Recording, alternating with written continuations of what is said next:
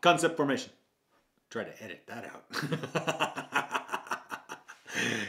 the joke's on me, folks. He probably won't. Um, shit.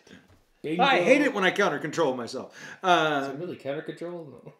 Wait a minute. Yeah. Anyway, concept formation. Uh, the first thing I need you to know is a lot of us don't like the term formation, and concept formation, because it seems like you're having this entity and that is a reification issue. And no, don't do that. So, performing conceptual behavior is a better way to talk about concept formation. And it sounds just a little bit dirtier too, which just fits right in with our mission here at PsychCore make everything dirty. Um, anyway, so concept formation, uh, performing conceptual behavior. Mhm. Uh, so it, it, it's the definitions out there are rather complex. We could make it simple. You ready? Here it is. You want to engage in conceptual formation behavior? nope, sorry.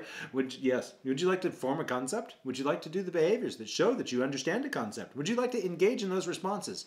All you need to do is this: generalize within a stimulus class and discriminate between. That's all there is to it. Um, so, what's a horse?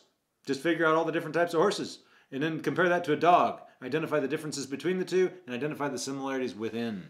So, generalization within, discrimination between. That's it.